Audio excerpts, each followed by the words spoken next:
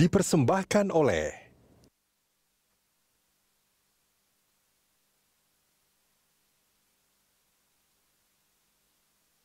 dan didukung oleh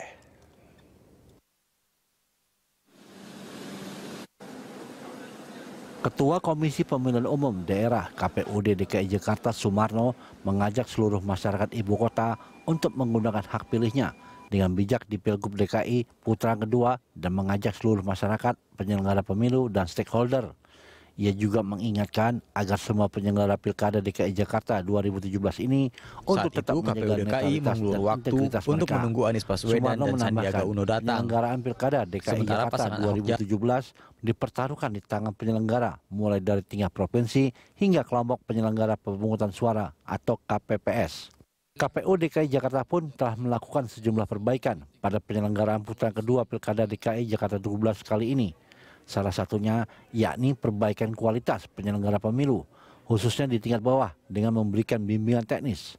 Selain itu, perbaikan lainnya juga dilakukan KPU DKI Jakarta dengan memperbaiki data pemilih, dengan memasukkan pemilih yang memenuhi syarat ke dalam daftar pemilih tetap atau DPT dan mencoret pemilih-pemilih yang tidak lagi memenuhi syarat.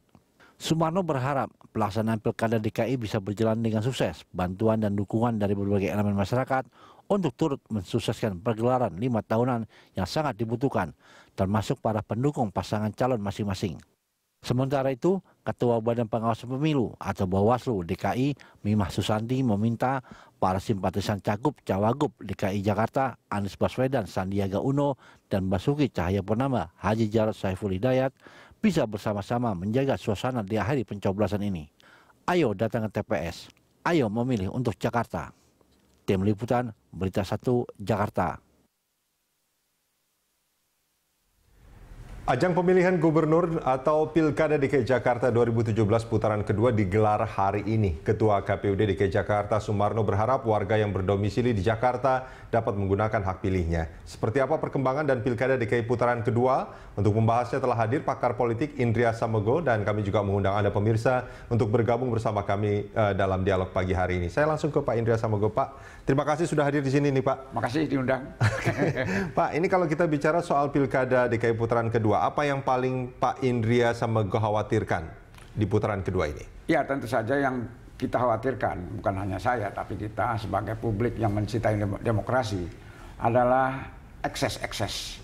Apalagi kalau eksesnya itu bersifat distraktif, uh, karena ada ya indikasi-indikasi yang memang... Contoh indikasinya ya, apa Pak Indria? Indikasi ya, misalnya ada pengerahan massa, hmm Ya, untuk mengawasi uh, proses uh, pencoblosan gitu yeah. ya. Yang sebetulnya uh, uh, logika siapa pun akan bisa menerima bahwa pencoblosan itu harus diwarnai oleh suasana yang hmm. nyaman, hmm. Uh, tenang dan adil. Yeah. Ya, jadi tidak boleh ada gangguan, hmm. apalagi intimidasi, ancaman, teror ya. nggak boleh. Boleh nggak kalau saya katakan sebetulnya pengerahan masa itu sebetulnya terindikasi itu mengintimidasi orang lain untuk? Iya, saya kira hmm. itu sudah apa uh, logika yang normal saja, yang wajar saja. Hmm. Untuk apa? Hmm. Dan itu juga bentuk ketidakpercayaan uh, masing-masing uh, calon terhadap penyelenggara pemilu artinya, ya, artinya uh, KPU, Bawaslu termasuk juga penegak hukum, betul. ada Polri dan TNI di sana kan yang betul. tugasnya untuk mengawasi itu. Betul. Mereka KPU dan Bawaslu adalah penyelenggara eh, hmm. yang tentu saja uh, butuh pengawasan. Di masa lalu pengawasan itu dari komisi independen pemantau yeah. pemilu gitu yeah. kan. Jadi betul-betul komite itu secara uh, all out dan profesional. Hmm. Nah, profesional gitu kan. Hmm. Jadi dia dia memahami proses-proses itu. Tapi oh. bukan masyarakat umum. Iya. Gitu. Ya. Nah, ini kalau boleh saya katakan gini. Pertama, uh, pengarahan masa itu itu terindikasi intimidasi hmm. gitu. Terus yang kedua ini adalah bentuk secara tidak langsung ketidakpercayaan uh, paslon terhadap penyelenggara pemilu ya. dan pengawas pemilu gitu kan. Hmm. Nah dengan dengan dua hal ini boleh nggak saya katakan bahwa apa pun hasil pemilu nanti ini sangat mungkin akan ada sengketa pemilu nanti di MK. Ya kita lihat kontestasinya. Hmm. Jadi kalau memang persaingannya sangat ketat ya. uh, dan nanti dihitung bedanya tipis, ya satu persen lah misalkan, yang memungkinkan mereka bisa mengajukan uh, ke MK. Hmm. Nah, ini uh, sesuatu yang ya sebetulnya wajar saja ya. uh, sengketa dibawa ke MK. Jangan sengketa di lapangan. Okay. ya, karena memang undang-undang sudah menyediakannya, hmm. institusi hmm. dan regulasinya gitu. Jadi okay. kita berharap sengketa keberatan dan segala macam yang berhubungan dengan pemilu itu diselesaikan secara demokratis. Oke. Okay. Dan memang harusnya ke MK. Kalau memang mereka merasa tidak setuju dengan iya, hasil apa iya, namanya pemilu, oh, mereka bisa mengajukan betul. ke MK. Nah, kalau Pak Indria sama gue perhatikan, ini kan sebetulnya uh, saya melihat dari hasil lembaga-lembaga survei sebetulnya. Hmm. Dan ini kan sebetulnya uh, bagaimanapun ada apa namanya istilahnya? Gitu ya. ya, ada semacam causal effect mungkin ya ketika lembaga survei mengeluarkan hasil polling gitu. Hmm. Ini juga akan bisa me, apa namanya mempengaruhi, mempengaruhi nah, seperti suasana. Ya. suasana. Hmm. Nah, uh, terakhir-terakhir itu kan lembaga survei nilainya itu kan tipis tuh dari SMRC misalkan yang hanya bedanya satu persen gitu. Itu kan itu juga akan mempengaruhi apa namanya uh, masyarakat ya. untuk memilih hmm. gitu. Nah, uh, Pak Indra melihatnya akan seperti apa ini? Jadi saya kira uh, apa lembaga survei ini merupakan tradisi baru hmm. ya, di dalam uh, agenda pemilu kita yang se sebelumnya itu atau kita kopi betul dari hmm. Amerika. Ya. Nah ini tradisi baru. Nah karena merupakan suatu yang baru tentu saja ada ada reaksi lah reaksi ya. reaksi.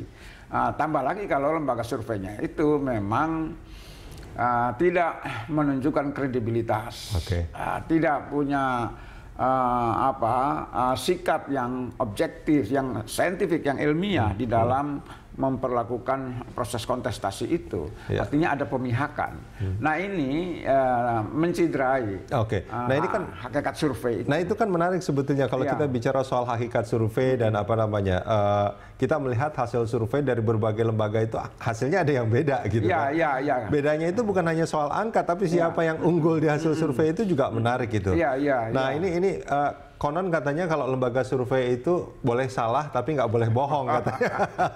nah tapi ini ini apakah ya indikasi apa namanya uh, lembaga survei itu memang sengaja dipakai untuk membangun opini di masyarakat atau itu Ya saya kira uh, memang mulai dari lembaga surveinya itu sendiri harus memiliki sikap yang mempertahankan martabat dan integritas itu uh, selepas eh, sel, apa di luar itu ya terserah kalau mereka punya agenda-agenda. Nah, tetapi juga kita harus akui kalau misalnya ada lembaga survei yang um, seperti dalam uh, pasca pemilu presiden kemarin, ya. itu kan kelihatan sekali ada ya. polarisasi antar lembaga hmm. survei gitu. Hmm. Nah, jadi sulit untuk dikatakan tidak memihak. Gitu. Hmm. Tapi akibatnya kan seperti orang bunuh diri, lembaga survei yang um, kelihatan sekali memihak hmm. itu out dari uh, pertarungan apa namanya uh, kegiatan survei selanjutnya seperti sekarang. Jadi kalau sekarang ada lembaga survei ya, kalau SMRC beda cuma satu, hmm. tapi ada Pol uh, Polmark uh, yeah. dan lain-lain itu. Uh, bedanya ada nih. Lingkaran Kemudian survei. Ada, ya, carta politika, carta politika itu memihak pasangan uh, nomor dua, kemudian Polmark pasangan nomor satu gitu. Okay. Nah, kita tidak bisa menjudge mana yang yang yang berbohong. Hmm. Tetapi kalau tujuannya untuk mempengaruhi pemilih, ya. ya saya kira tidak terlalu signifikan. Tidak terlalu signifikan. Tidak terlalu signifikan karena ya pemilih kan uh, bukan orang-orang yang memiliki uh, waktu luang untuk membaca hasil survei. ya kebanyakan yang paling efektif adalah kampanye-kampanye face to face. Hmm. Uh, komunikasi personal hmm. antar uh, calon tim sukses dan okay. partai lah gitu ya. Hmm. Ah, itu lebih efektif dibandingkan peran lembaga survei. Tetapi okay. buat orang-orang yang punya referensi, uh, tentu saja mencari uh, lembaga survei mana. Tetapi terus menimbulkan ada semacam kecurigaan. Kalau ya jomplang sekali gitu hmm. antara dua paslon ini gitu. Oke. Okay. Nah, Pak Indria, ini kalau kita melihat hasil lembaga survei yang banyak mengeluarkan datanya, terus kita lihat juga kampanye dari masing-masing uh, pasangan calon juga luar biasa. Dalam hmm. sehari mereka bisa mengunjungi lima bahkan sampai delapan lokasi sehari gitu kan. Hmm. hmm. Nah uh, ini boleh nggak kalau saya katakan di putaran kedua ini memang suhunya cukup panas. Ya, mau tidak mau putaran kedua itu lebih panas dibandingkan putaran pertama karena ada dua kontes hmm. kontestan. Hmm. Jadi ada polarisasi. Gitu. Okay. Jadi tidak tidak kita mereka tidak mereka ya kita gitu hmm. kan. Kalau dulu putaran pertama kan ada tiga, ya. itu satu. Yang kedua memang Jakarta ini lain. Eh, calonnya itu ada yang namanya uh, Ahok misalnya kan. Ya ini figur yang kontroversial. Banyak pendukungnya uh, di satu sisi juga tuh, sudah berpengalaman menjadi politisi, menjadi gubernur di DKI, tapi di pihak lain akibat dari statementnya yang menurut pemilih ini agak kurang wise, kurang bijak, jadi menimbulkan ini tambah lagi dengan soal uh, apa Al-Maidah hmm. 51 itu. Ya. Eh, ini menimbulkan kontroversi yang bukan hanya warga Jakarta tapi hmm. dimobilisasi seluruh Indonesia gitu. Okay. Makanya ada apa namanya wisata Al-Maidah gitu. Hmm. Nah, ini tapi yang ketiga adalah bahwa Pilkada Jakarta ini bagaimana banyak diakui orang ini ya. serasa pilpres. Serasa pilpres ya. iya, ya. Oke. Okay. Karena pendukungnya itu ketua umum ketua umum partai. Oke. Okay.